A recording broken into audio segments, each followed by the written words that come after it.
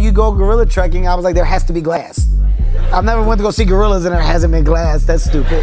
Like actual gorillas, like two feet of you, like they're right there. And I didn't take it well. My wife was trying to tape the gorilla. The flash was on. I hit her. Cause you're gonna get us attacked. You're gonna get us killed. You know Harambe? Remember that white baby was with Harambe? I was the white baby. Cause nobody else cared. Everybody else was calm. I learned so much about gorillas. Do you know when a gorilla loses a fight? Do you know what he loses? His family. Like if you're in a silverback fight and you lose, well, your wife and your kids are now my wife and my kids.